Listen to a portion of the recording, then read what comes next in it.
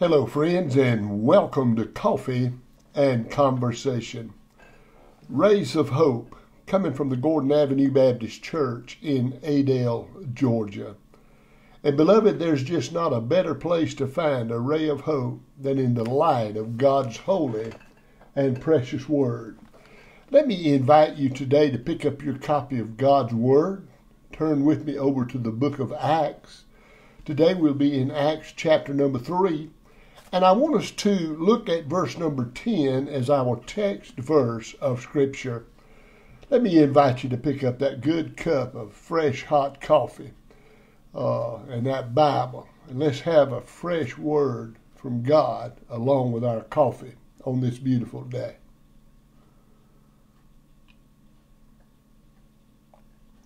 My goodness. What better way to get a brand new day started? Fresh coffee and a fresh word from God. Well, friend, before we get into our devotion, let me remind you at uh, 11 o'clock today at the Gordon Avenue Baptist Church, we will be having our call to prayer. We've been praying now for about 12 weeks, trying to pray this old virus out of our land. And praise God, I'm glad to report that every week since we started our prayer meeting, the numbers has been going down. And so we praise the Lord for that. So let me remind you again 11 o'clock, Gordon Avenue Baptist Church, Adel, Georgia. We'll have a call to prayer. All right, Acts chapter 3, verse 10. Look at what the Bible says. And they knew that it was he which sat for alms at the beautiful gate of the temple. And they were filled with wonder and amazement at that which had happened unto him.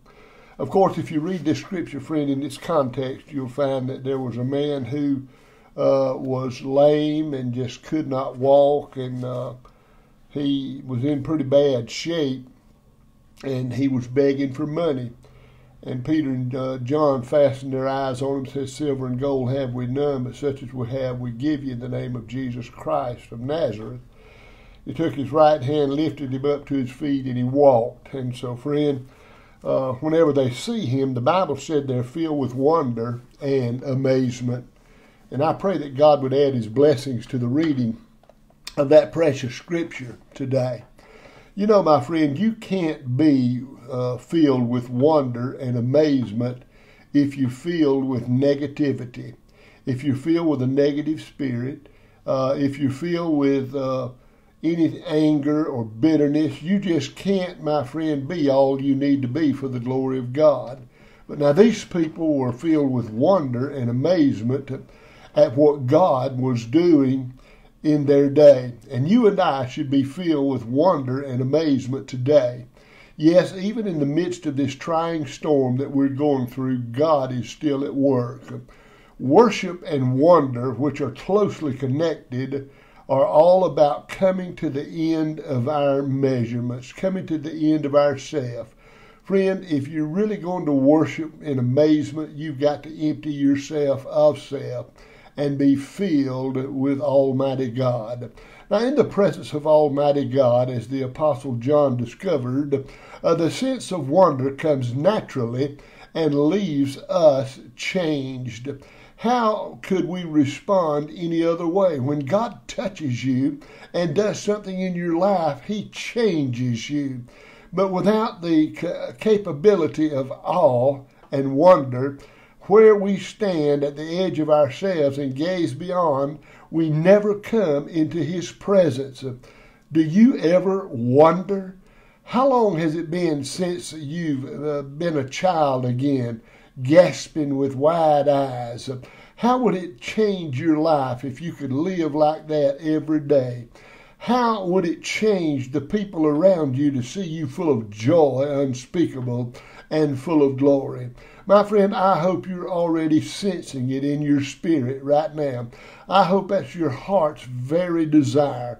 My friend, this is what's been lacking in so many of our lives uh, in this modern time that we're living in. We've wandered through emptiness. Uh, and we've been wondering at the uh, fullness of this old world instead of the fullness of God's love. My friend, your heart's desire, even if you haven't come to realize it, is to live every moment in the wonder of worship. Yes, my friend, whenever they began to see what had happened for this man, they were amazed. Friend, have you been amazed lately in what God's doing in your life? They, they were just struck with wonder. Look at what God is doing. Yes, the Bible says they were filled with wonder and amazement at what had happened to him. Have you ever looked around and seen God doing something in someone else's life and you were just struck with wonder and amazement, uh, just wondering how in the world God could still do that? Well, friend, He's still God. He hasn't changed. The Bible says that He's the same yesterday, today, and forevermore. And it's His greatest desire that we amazingly wonder at what He's doing in our lives. So, friend, hold your head up, be proud. Look back at the time whenever you were full of vitality and vigor and running through life and just enjoying life. Uh, didn't have a care in the world. The greatest care we can have is for the Lord Jesus Christ. And the only way you'll ever have that is to empty yourself of self and walk in the wonder and amazement of God. Think about that. Let's pray together.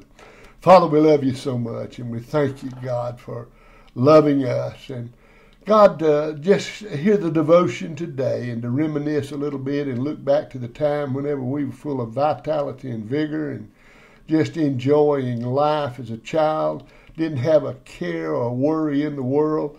Lord, we've allowed all the worries and cares of this world just about to run us absolutely crazy. God, to help us to begin to amazingly wonder again at the works of thy hand. Thank you for this word, wonderful word today. In that you took a man who was lame in his feet and legs and couldn't even walk, and uh, he was begging for money, and uh, the disciples let him know that did, they didn't have any. Lord, I know what it is not to have any. But such as they had, they gave him in the name of Jesus, and he took up his uh, a bed and he walked, and we praise God for that. And Lord, help us see that we too can enjoy life again in amazing and wonder as we worship you. In Jesus' name, amen. Well, friend, I pray the devotion's been a blessing to you today. It certainly reached into my life. It reminded me of a time a long time ago uh, whenever life was so full and wonderful. And friend, let me tell you something, it's just as full and wonderful today. Why? Because Jesus is still an amazing God who does wonderful things. Have a great day in the Lord and make a difference in your world. Your life could be the only Bible some will ever read. So let others see and hear Jesus in what you say and in what you do. God bless you.